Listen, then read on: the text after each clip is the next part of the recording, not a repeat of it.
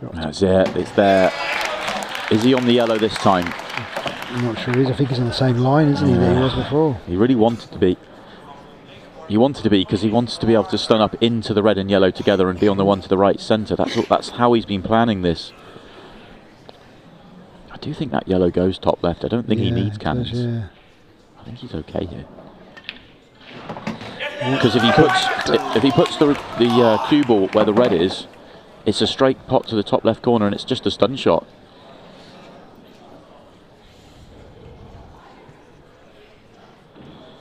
Oh, this looks oh, tight. This- Fair. Two balls away, Ronan McCarthy from being the Masters champion.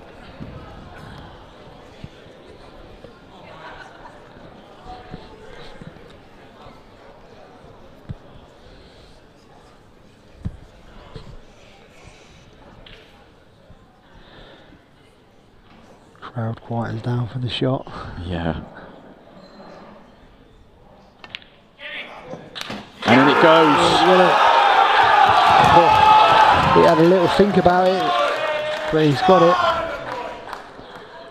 Still needs to be made.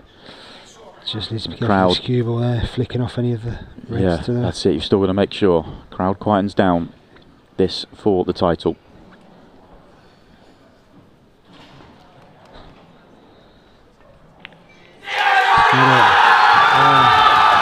Ah, well done, excellent.